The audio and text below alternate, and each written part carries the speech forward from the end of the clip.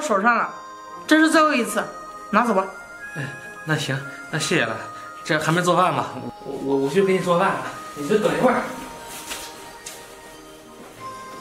那个老婆，我去上班去了啊。啊好。我倒要看看你到底把钱花到什么地方去了。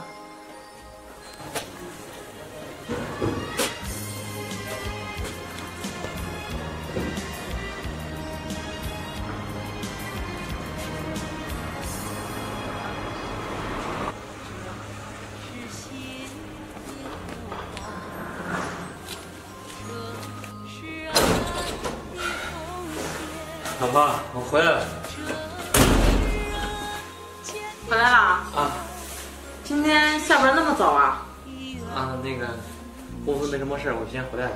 啊，那你这儿是不是又得跟我要钱啊？啊？啊，对，你昨天给我的钱我又花光了，这最近事儿多，钱不够，你要不你再给我点儿？说吧，把钱花哪儿了？花到哪儿了？我不是跟你说了吗？这最近事儿多，这不是又他让我朋友过生日吗？我这个昨天的钱给他给他随礼了。撒谎！你干什么去了？我都已经看到了，你还在骗我。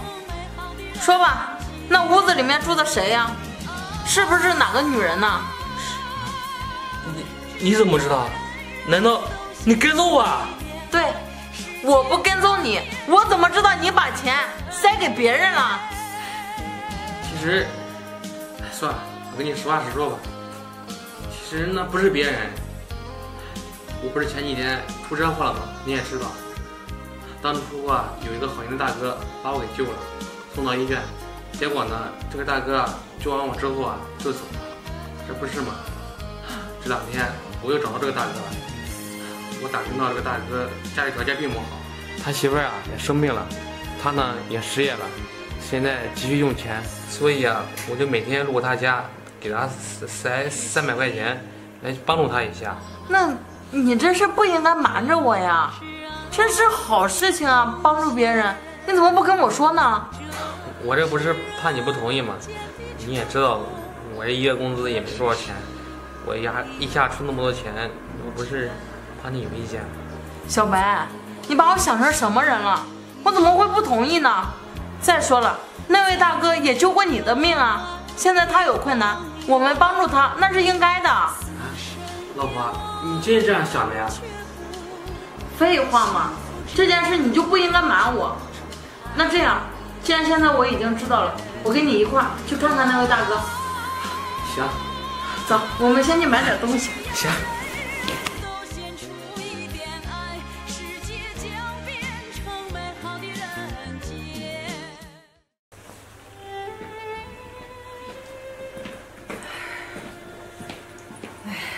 小飞，啊，今天怎么起那么早啊？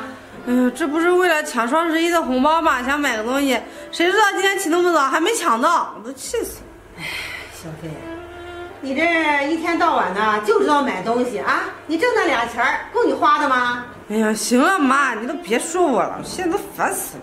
哎呀，你们这些年轻人呀，我呀真是想不到你们在干什么，一天到晚的啊，自讨苦吃。妈，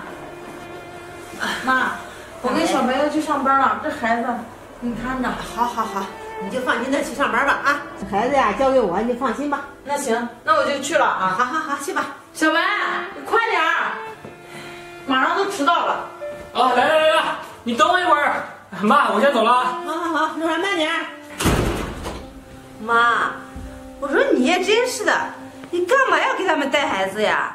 你这丫头，这我不给他带孩子，我给谁带呀？啊，何况他是我大孙子呢。大孙子又怎么了？你看看人家王婶，人家儿子必须要给他钱，不给钱就不给带孙子。你呀，就是太惯着他们了，什么钱都不给他们要。你呀，又要出钱，还要出力。你看你天天在家带孩子，哪里都去不了。小飞，你这说这叫什么话呀？啊，这我看我自己的孙子是天经地义。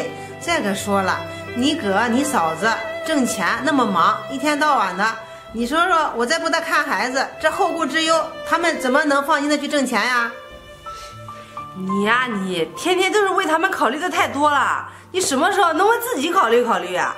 孩子呀，你不懂，你看看你嫂子还有你哥，他们呀一天到晚的上班多辛苦呀啊，还要带孩子。你说我要不帮他，谁帮他呀？这还有啊，这孩子是我自己的大亲孙子，这我看他呀是天经地义。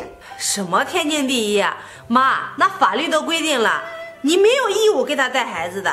这个孙子啊，你可以不看的。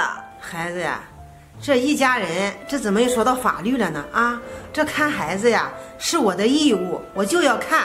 还义务？这什么义务呀？你们想想，小飞啊，我这带孩子呀，都是帮你嫂子带的。我现在帮他带孩子，等我老了那一天啊，他不得管我呀，照顾我呀？妈，就算我嫂子到老了不照顾你，那不还有我哥吗？我哥肯定会照顾你啊。是，你哥呀，他是应该照顾我，可是我不帮他带孩子，他在你嫂子面前可怎么说呀？啊，这还有，如果我和你嫂子我们俩的关系不好，一天到晚的闹矛盾，这叫你哥夹在中间多为难呀！这家呀，不是讲理的地方，是讲亲情、讲爱的地方。妈，天天讲那么多大道理，就算我哥我嫂子都不养你，你不还有我吗？到时候我养你啊。是有你不假，可是你总有一天会结婚嫁人的，你以后啊也有你自己的家庭，也有你自己的孩子，还有你的公婆要照顾。你说你哪有时间来照顾我呀？这还有，等你结完婚以后有了孩子，你婆婆呀不帮你带孩子，不管你，不问你，这你心里会怎么想啊？她老了你会管她吗？妈，我明白了。明白就好。这人呀、都是将心比心，你对他好，他才会对你好。嗯，妈，以后啊，我也会对我嫂子好的。来，孩子，我帮你带带。这就对了嘛。这一家人呀、和和睦睦的，比什么都重要。妈，我记住你今天说的话了。这才是我的好闺女呢。行了，你呀，先帮我看着孩子，我把你嫂子啊还有你哥的衣服给他洗洗。